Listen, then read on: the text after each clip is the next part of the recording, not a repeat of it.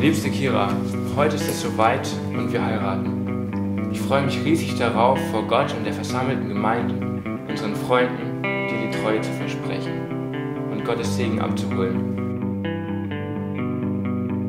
Du bist die Frau meines Lebens und ich kann mir nichts Schöneres vorstellen, als mein Leben mit dir zu verbringen und morgens, wenn ich mich umdrehe, dich zu sehen.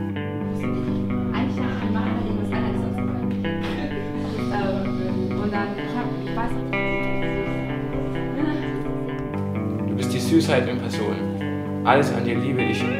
Über deine süße Mimik, die Art, wie du redest, besonders wenn du begeistert bist und deine Witze. Und wenn du lachst, dann hast du immer so süße Grübchen. Du bist so toll und heute gehen wir Seite an Seite.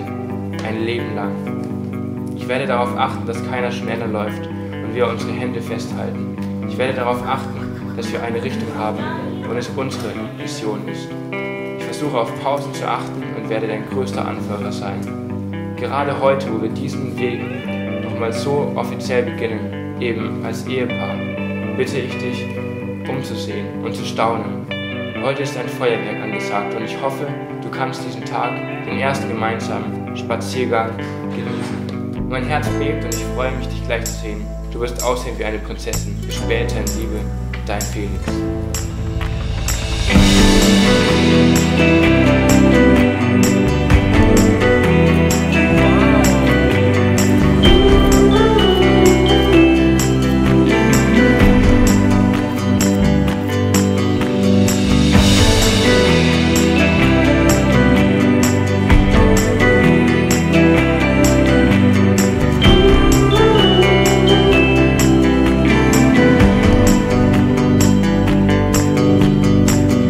Heute ist der Tag auf einmal da, auf den wir so lange hingefiebert haben.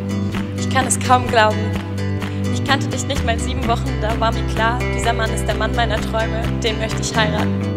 Ich wusste nicht, ob du das Gleiche empfindest und habe deshalb mit Gott gerungen und ihn beredet, dass mein Traum in Erfüllung geht.